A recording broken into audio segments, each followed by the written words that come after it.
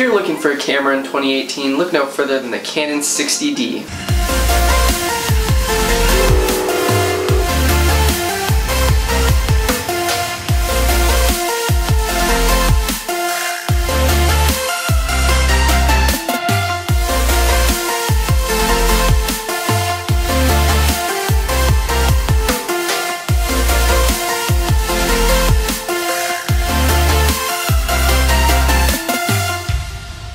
Talking cameras in 2018, my number one pick is the Canon 60D. Now, I picked the Canon 60D because it is affordable, but also a good level camera that can shoot video and photos in high quality. The price range of the Canon 60D is quite low because the used price of a Canon 60D ranges anywhere from $300 to about $600. Now, if you did want to buy this camera new, it would cost you around 800, and I do think there are better options for that price range.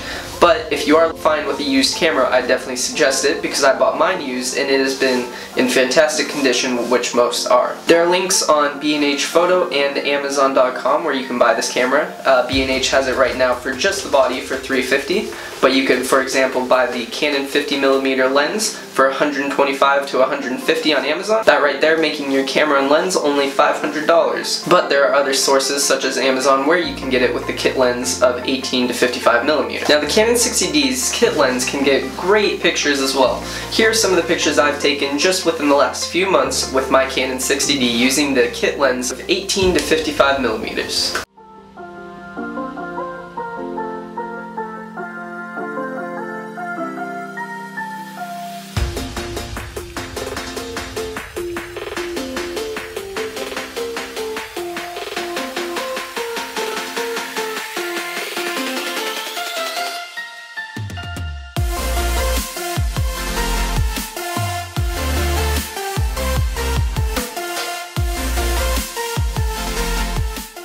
Canon 60D also has a flip-out LCD, which is very nice for vlogs or creating videos such as the one I'm doing now, where you can see your own subject. But you may be wondering about video since that is a big aspect of the camera.